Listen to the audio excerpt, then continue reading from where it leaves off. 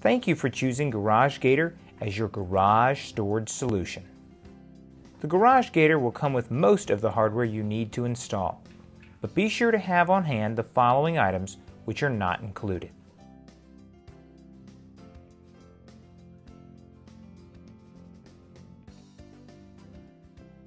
Your first step is to mount the hand crank to the wall. Make sure that the crank is drilled into a wall stud for support. A piece of wood may be drilled first to the wall and then the hand crank mounted to the wood, making sure the wood is securely mounted to wall studs. Along a wall stud, secure the hand crank to the wall using the lag bolts provided. To attach handle, pull safety latch, then attach hand crank. Make sure safety latch is pushed in to prevent the handle from sliding off during operation. Your next step is to mount the pulley bar. The location of the pulley bar should be directly above the hand crank, mounted to the ceiling against the wall. Locate the stud at corner of ceiling and attach securely. The distance from the wall to ceiling pulley bar to the center spacer bar will be determined by the height of your ceiling. The more distance between them, the shorter the cable length will be to the floor.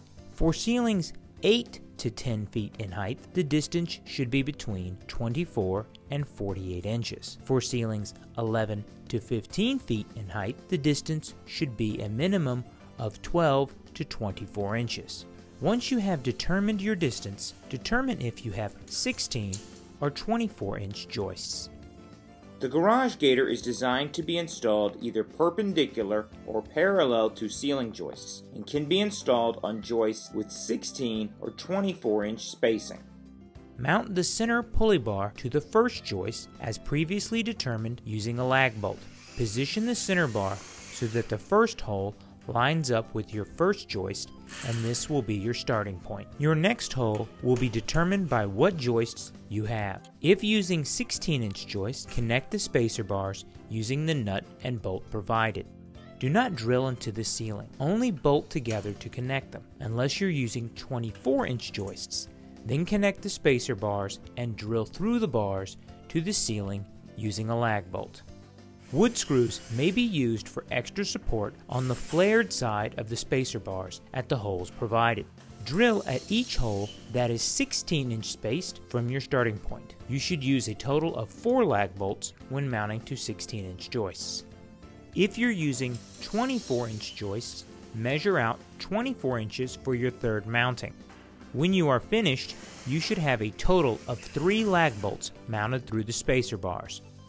Wind the cabling through the proper channel pulleys, making sure that the cables have not twisted. Connect the provided hook bar. And before attaching the end pieces, slide the hooks or bike cables into place, then attach the end pieces. Connect the cable hook to the hook bar on both ends. At this point, you have the option of incorporating the bike cables to the hook bar. To use the bike cables, simply run them through the rear and front tires and clip the carabiners together. This is a great option to hang a kayak or bicycle. In order to engage the hook bar, you must pull out the outer safety brake of the hand crank to raise and lower cables, and then push back in place when not in use. Thank you for your purchase of the Garage Gator.